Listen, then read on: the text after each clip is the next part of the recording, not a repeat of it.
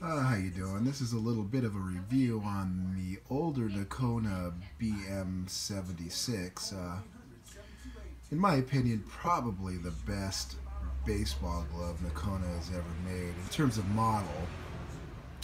Pretty much all their baseball baseball gloves are really nice, but this particular glove is just one of my favorite ones. Um, I use it playing baseball and or softball. Uh, it just does a wonderful job. I mean, it holds its shape. I mean, this glove is probably 20 years old and it's been used a lot and it really holds its shape really well. Excuse me while I move the camera.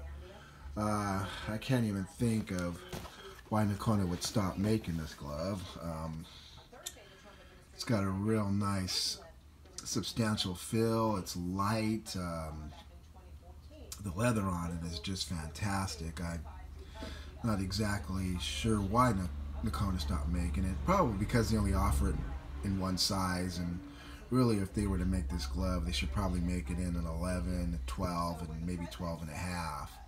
Uh, because probably most infielders today like the smaller gloves, 11 and a half or 11 and a quarter, but really this glove is just unbelievable. Um, it's held up well. Uh, typically, when I use my gloves, I use batting gloves. Uh, sweat and spitting in them really screws them up. When I watch players do that, I just kind of just shrug while you spit in your glove. And also, people have a tendency to over oil their gloves. I, I don't oil my gloves. I use Barbasol shaving cream twice a year on my gloves. One, it's light. Uh, it doesn't stay in the glove. It keeps it clean and it has a lot of emollients to keep the glove nice and soft and all my gloves stay real, really nice. I, I tend to stay away from oils, but um, this is uh, one of my BM76s, and it's I think a 94 model, 95 model.